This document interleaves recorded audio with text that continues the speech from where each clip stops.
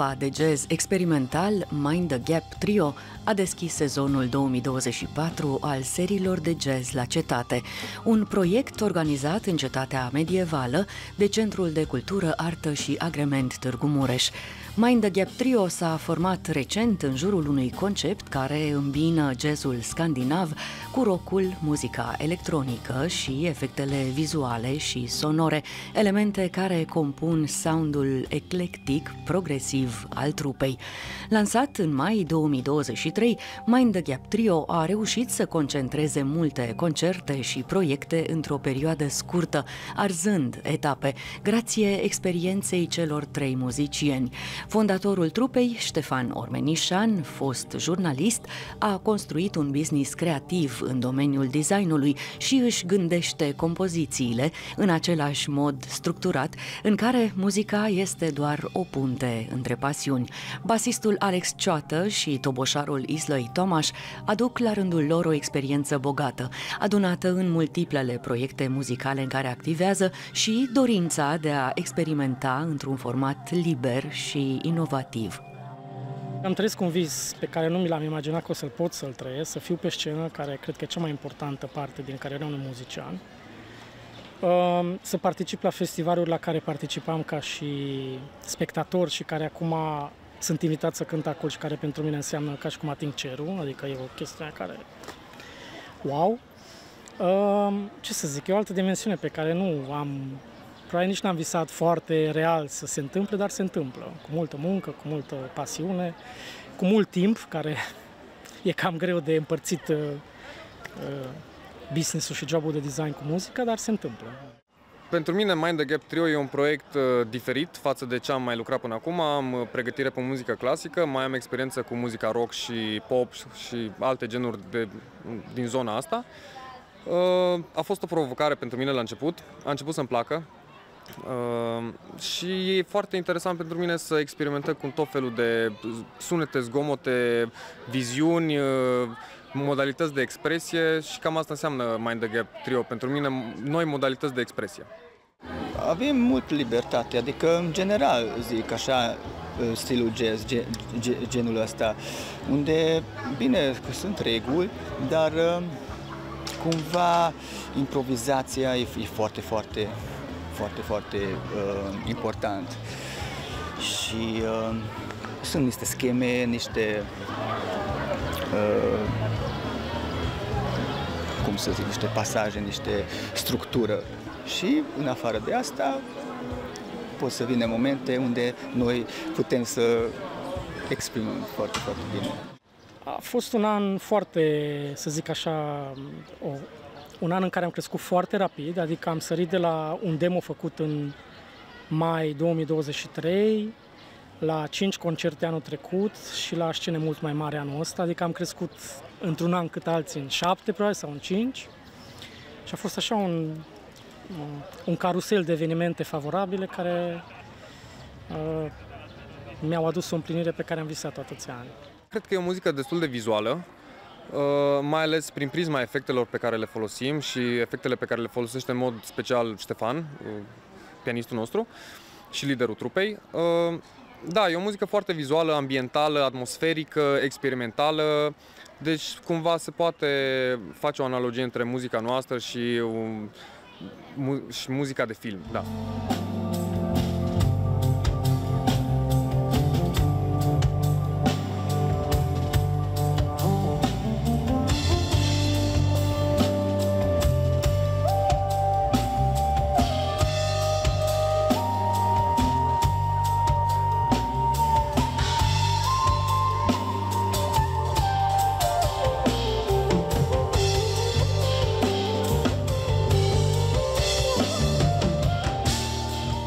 Încarcă, cel puțin repetițiile și concertele noastre, pentru că după atâtea reguli din muzica clasică, aici cumva vin într-un uh, spațiu de joacă unde am voie să fac ce vreau. Și atunci, uh, da, și învăț lucruri noi și experimentez și pot să fiu liber și să fac ce vreau eu, atâta timp cât sună bine. da. A început în urmă cu aproximativ 3 ani. Uh mi-am dat seama că după ce am stat departe de muzică cam 20 de ani, timp în care m-am ocupat de business și de o altă pasiune, parte de design, mi-am dat seama că cumva trebuie să reiau activitatea asta, pentru că tot timpul muzica făcea parte din viața mea, zi cu zi, chiar și colecțiile pe care le facem uh, cu compania pe care o am în domeniul designului erau legate de muzică foarte mult. Și a început dintr-o joacă cu un uh, fost boșar care lucra în firmă și cu care am început să facem niște jam session-uri, după aceea am investit în echipamente, uh, l-am cunoscut pe Tomaș și asta se întâmpla cam în urmă cu un an, un an și un pic, să zicem, un an și o lună. Uh, și brusc tot a devenit foarte serios, pentru că aveam niște compoziții foarte bine puse la punct, pe care după ce am reușit să găsesc doi muzicieni buni pe, pe Thomas și pe Alex la bas, piesele s-au închegat rapid și a început să sune ca o trupă care deja cred că putea ușor să urce pe orice scenă. Foarte, foarte ceva, foarte fusion, adică jazz un pic uh, progresiv spre rock, uh, așa ambiental, deci cu ce este, ce folosește, adică instrumente lui Ștefan e, e mega tare, deci aici cu sounduri electronice, e foarte, foarte așa inovativ. Eu am făcut uh, 8 sau 9 ani de pian, după care am abandonat uh, oarecum pianul din motive mai puțin uh, interesante acum. Uh, după aceea am cântat în niște formații de rock la nivel local, dar în, în jur de, deci pe la vârsta de 25 de ani am abandonat muzica complet, pentru că îmi dădeam seama că trebuia să fac fie sacrificiu de a cânta în restaurante sau nunți sau alte chestii pe care nu mi le doream, pentru că totdeauna eram legat de rock sau de jazz. Și nu aveam bani să mă întrețin și atunci am trecut prin diverse joburi ca jurnalist, în care am avut o carieră de șapte ani, după aceea designul de interior, unde am un business internațional și cumva muzica am pus-o deoparte, chiar dacă, repet, tot timpul eram conectat, mai cântam acasă unde am o pianină, dar nu era ceva daily base sau nu era ceva targetat să fie un, la nivel de concerte și de albume și de ceea ce se întâmplă acum.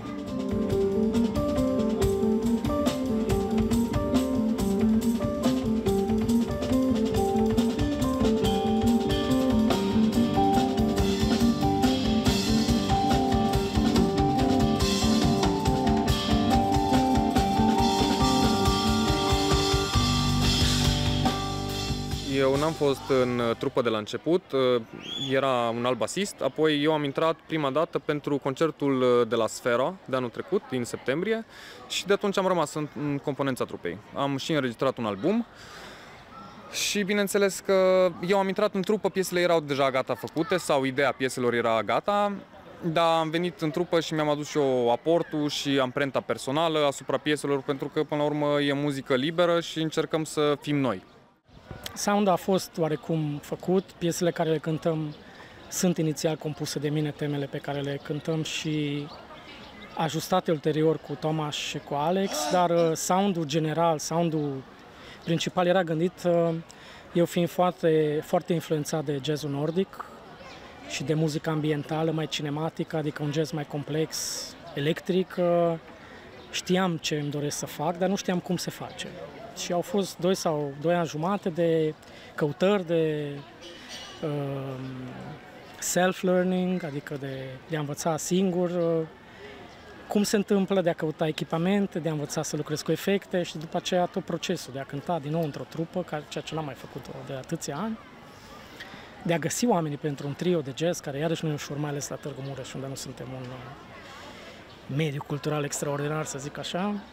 Muzică fac de la șapte ani, adică din clasa 1.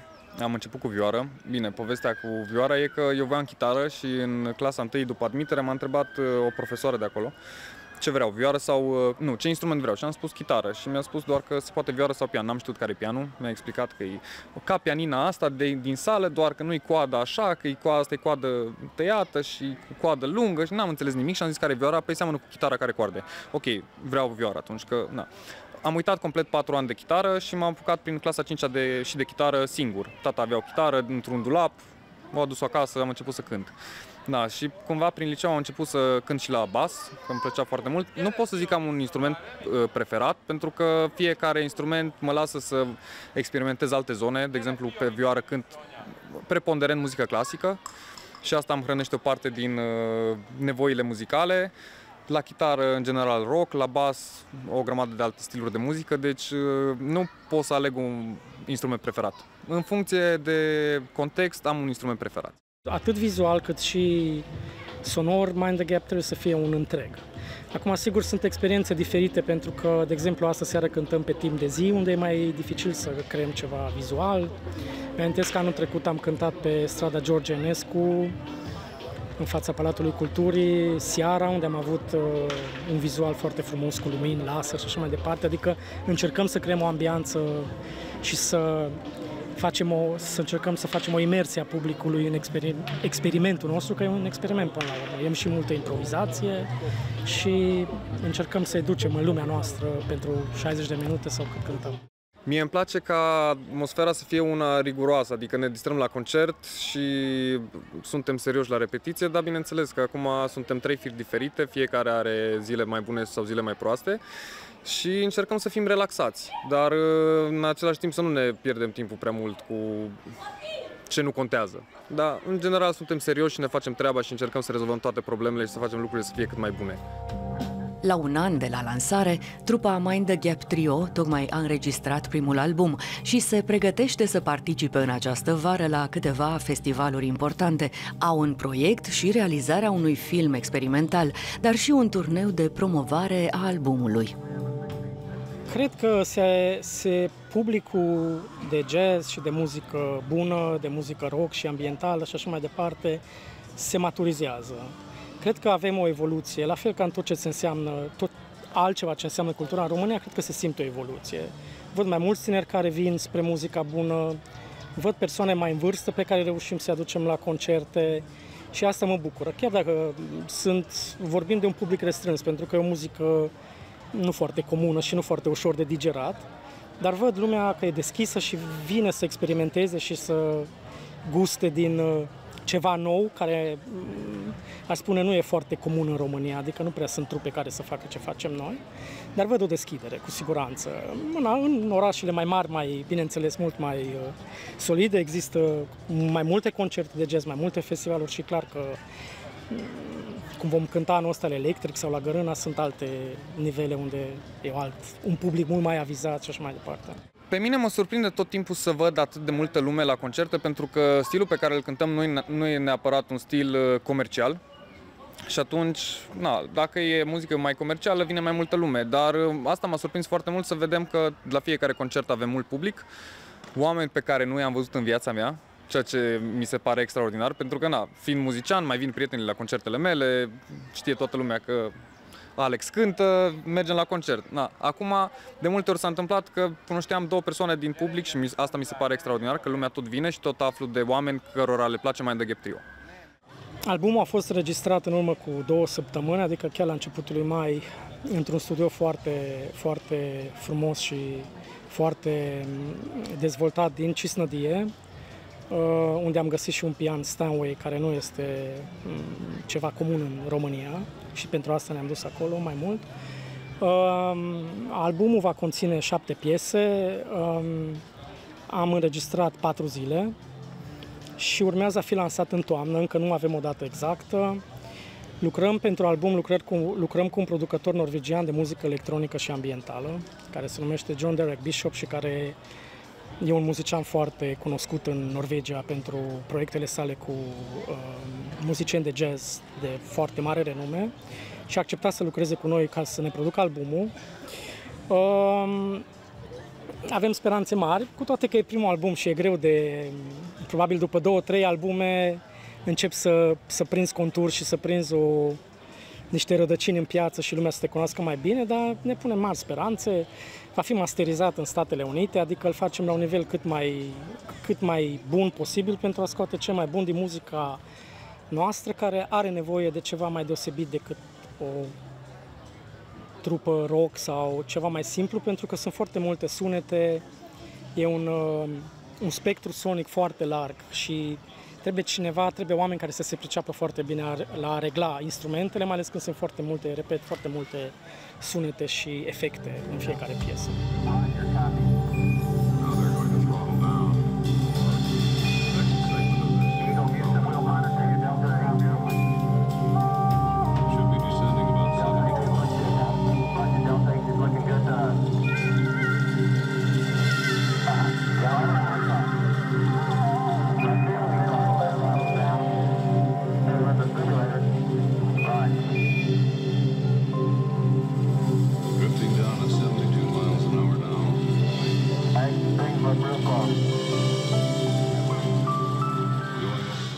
Nu e lansat, e doar înregistrat, urmează partea de mixing, mastering și cândva prin toamnă sperăm să putem să lansăm și albumul. Mai trebuie, na, lucrat la el, dar e înregistrat, sună foarte bine. Am uh, avut ocazia să lucrăm cu un sunetist, un inginer de sunet foarte, foarte bun la un studio din Cisnădie. Nu credeam că există așa studio în zona asta a Transilvaniei, dar am fost foarte plăcut surprins au și un pian Stanway acolo incredibil. Da, a fost o experiență foarte mișto și așteptăm să iasă albumul, abia așteptăm să facem și un turneu de promovare. Greu, când studio mereu e altfel, acolo trebuie să fii și foarte, foarte concentrat, dar da, am, am făcut foarte bine, cu, cu, cu succes, deci abia aștept și eu rezultatul să fie totul masterizat, totul mixat și așa mai departe. Cred că e un parcurs firesc ca unei trupe să încerce să ajungă la festivaluri cât mai mari și mi se pare foarte, foarte, foarte fain și provocator să cântăm la Electric Castle. O să fim în data de 19 iulie, adică vinerea. Uh, vom fi prima trupă care deschide Backyard Stage și abia aștept pentru că sunt o grămadă de trupe foarte interesante acolo. Mie îmi place foarte mult Electric Castle ca festival. O să mai cântăm înainte cu o săptămână, fix o săptămână, o să cântăm și la Gărâna Jazz Festival care na, e, un, e un festival de renume pe partea asta de jazz. Și înainte vom fi la București, la concursul internațional de jazz de la București. Electric Castle, da, aștept foarte, foarte mult, dar, dar am și emoții. Deci, păi, trebuie să ne pregătim foarte, foarte bine. Deci asta singura soluție și re- rețeta pentru muzicieni. Deci trebuie să repetăm până când simțim că este 100%. Este patent, cum zic eu. Deci totul e, e în regulă și are flow, merge. Suntem foarte fericiți să fim la Electric. Electric și Gărâna probabil că sunt cele mai importante festivaluri uh, din țară. Gărâna pentru că e cel mai, festi- cel mai important festival de jazz din sud-estul Europei și la 28-a ediție, adică vorbim de 28 de ani de festival, unde au venit toate numele, cele mai importante nume care au cântat vreodată în jazzul mondial și îți dai seama că suntem foarte mândri să fim acolo în acest an. Iar Electric, pe de altă parte, e considerat cel mai important festival mediu din Europa și iarăși pentru noi este o, o împlinire să fim pe afișul din acesta, mai ales că e o ediție aniversară. Uh, n-am fost niciodată la Electric uh, Castle, uh, am fost mai totdeauna plecat. Am fost la Gărâna, unde mi-am promis acum 2 ani că nu mă întorc decât ca și muzician și se întâmplă. Iar, da, sunt experiențe pe care le-am visat, dar nu credeam că o să le ating așa de repede. Pentru mine, cu cât sunt mai mulți oameni, cu atât am mai multă energie și primesc energie de la ei. Uh, chiar aștept să cântăm la Electric Castle foarte mult. Bineînțeles că trebuie să ne gândim la o grămadă de uh, soluții tehnice pe care trebuie să le facem pentru că timpul de schimbare între trupe e limitat și după cum poate au mai văzut și telespectatorii sau o să vadă, Ștefan are foarte multe instrumente. Eu, pentru mine e simplu, eu vin cu basul, 5 minute gata, dar na, partea mai complicată e cu toate căblulețele, alimentările, sunetul, e foarte complex ce are Ștefan acolo și cred că asta e Asta e singurul meu stres din punct de vedere al trupei, tehnic, muzical, orice, asta e singurul stres, să facem repede tot și să sune bine. Vom avea un eveniment foarte interesant pe care mi-l doresc să-l transformăm într-un uh, film, de fapt, uh, într-un film experimental. Este vorba de un concert care va avea loc în Biserica Evanghelică din Biertan, în septembrie, și care e un, un templu al bisericilor uh, evanghelice din uh, Transilvania, unde vom filma uh, cu un regizor și cu o echipă. Nu vreau să dau mai multe detalii încă. Uh, iar la anul, să zicem, uh, până la anul deja să avem confirmate niște concerte în extern. Avem deja discuții și în Londra și în Japonia. Uh, sperăm să se împlinească. Probabil că odată ce vom scoate albumul și reușim să ieșim cu el în piață, vom convinge mult mai ușor numele mari sau festivalurile mari să ne invităm.